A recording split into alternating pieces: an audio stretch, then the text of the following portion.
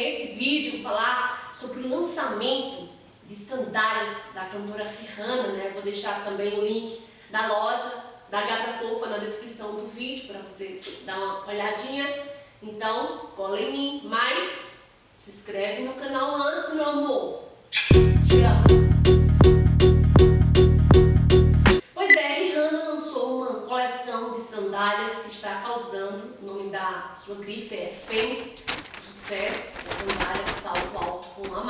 Né, até o joelho. Né? Kim Kardashian já desfila com uma, veja. Elas são muito confundidas né, com as sandálias gladiadoras, mas não se engane, né, as sandálias de amarração têm características próprias né, e são muito democráticas. A sandália de amarração, que lá fora recebe o nome de Lace Up, né, existe em diversos modelos, desde aqueles usados na época de Roma antiga, até os que com o passar dos anos ganharam alguns detalhes específicos e deixaram mais próxima né, da versão que conhecemos hoje em dia. Como a amarração nesse laço, nessa característica principal dessa sandália, mas também tem outras partes do calçado, como o salto, a altura, nas tiras, o solado, são diversos, né? mas o sucesso atual, acho que são amarrados até a altura do joelho, né? Por isso, é comum encontrarmos diferentes tipos de sandálias de amarração desde as que seguem a linha upper boot, né, até com meia pata, com tiras até a altura dos joelhos, em saltos quadrados, rasteiras. Além disso, vale lembrar que esse tipo de sandália não combina muito com ambientes de trabalho, tá? Mais formais, né? Como escritórios, né? De advocacia, por exemplo, né? Elas são modelos ideais, né? Para baladas e vasinhos, é o ideal. Quem vai usar a sandália né, de amarração com partes de baixo mais curtas, né, que deixam a perna à mostra, deve ficar atenta à silhueta. Né? Nesse caso, ela fica ainda mais em evidência e é aconselhável que alguns cuidados sejam tomados antes de escolher o modelo né, que será usado. Em relação à estatura, né, apesar das mais altas serem beneficiadas com o seu uso, né, já que esse tipo de sandália tende a achatar a silhueta. As baixinhas também podem usar e abusar né, desse tipo de calçado.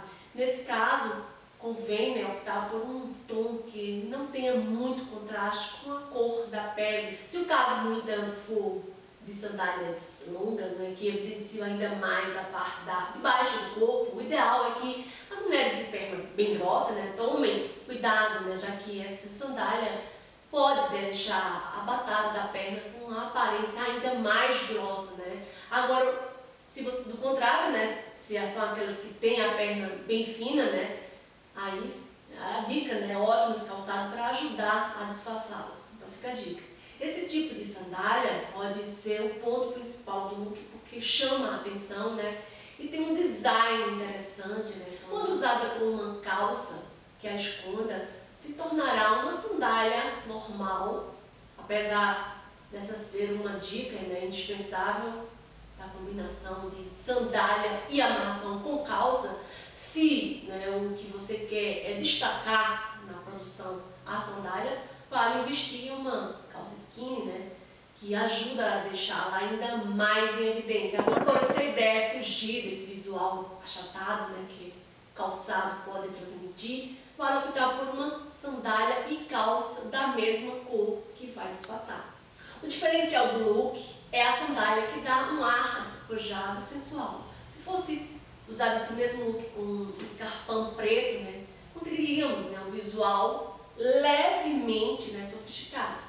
Essa dica também pode ser aplicada né, look com vestido, né, por exemplo, um vestido básico, né, a sandália acaba né, ganhando mais destaque né, no visual. Mas se o vestido tivesse, por exemplo, muitos detalhes, né, ou fosse muito colorido, o ideal seria optar por uma sandália mais discreta. Já que a sandália né, de amarração está em alta, né, não podem deixar de falar da sandália de amarração com corda. Né? A sandália de corda é confortável, prática e versátil. Isso porque você pode utilizá-la para o trabalho, né? passeio ao ar livre, até mesmo festas. Né? O modelo transparente na parte do peito do pé, estilo plataforma branca, né? está sendo um sucesso. Você encontra na loja da Gata Fofa, tá? Eu vou deixar o link na descrição do vídeo para você dar uma olhada. É isso aí, gente. Eu vou ficando por aqui. Espero que tenham gostado do vídeo. Quem gostou, dá aquele joinha. Quem não se inscreva. Tchau.